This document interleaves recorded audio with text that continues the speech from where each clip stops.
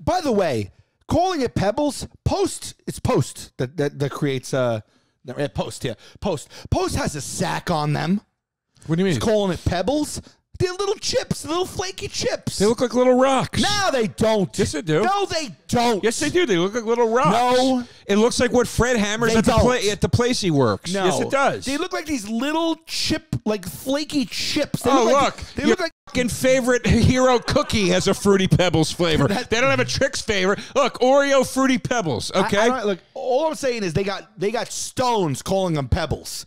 Okay, they I- don't look like pebbles. They should be called fruity and cocoa mini flakes. I'm gonna, I'm gonna, I'm gonna, and, and again, we need to go back to Cocoa Pebbles, but I promise you this: if you looked up cereal recipes, you would find several that involve pebble cereal. You will find almost none that involve Froot Loops. I promise you that. I, I've seen the Froot Loop version of a Rice Krispie treat. I've seen- as well as I've seen. Yeah, Uh, I once saw a man that had two heads. What does that mean? Yeah, yeah, We've seen everything. I'm not talking about that. I'm talking about what's commonplace. you saw a man with two heads. Yes, I did.